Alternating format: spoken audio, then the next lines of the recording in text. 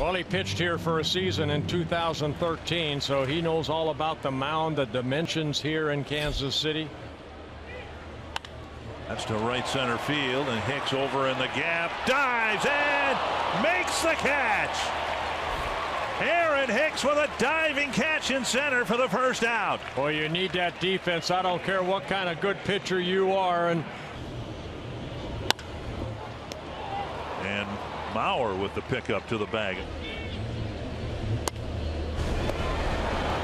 Spent that time in Rochester.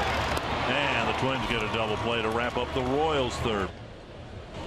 Swing and a miss. Moustakas strikes out one away. Good slider down and in, and Santana picks up his first strikeout in a Twins uniform. And another breaking pitch gets another swing and a miss. And two straight strikeouts. It's almost like a little cutter right there. Not the big slider.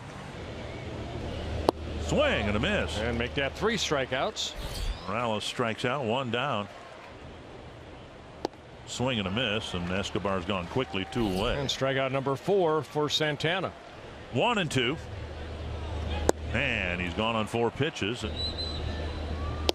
Strike three. A Oh. belt high fastball. Cain does not like it, but it's strikeout number six for Santana.